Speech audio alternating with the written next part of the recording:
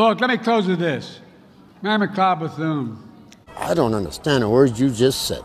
Mary McLeod Bethune. She founded the proud HBCU Bethune Cookman University. Here's what she said. Here's what she said.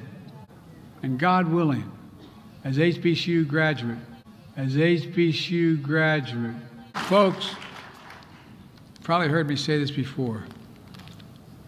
We just have to remember who the hell we are. No, I mean it.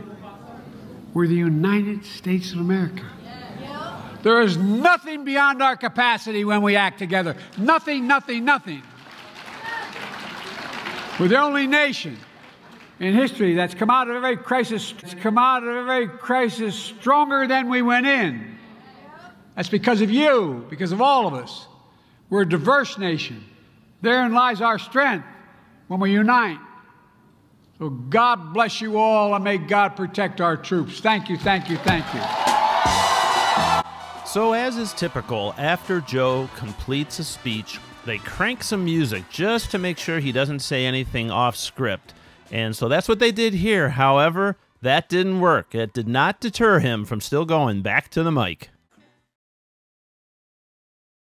I'd walk out of my grandfather Finnegan's home up in Scranton, Pennsylvania. He'd go, What the hell did you just say? Grandfather Finnegan's home up in Scranton, Pennsylvania. He'd Joey, keep the faith. And my grandmother will no, Joey, spread it. Go spread the faith. Your folks might understand.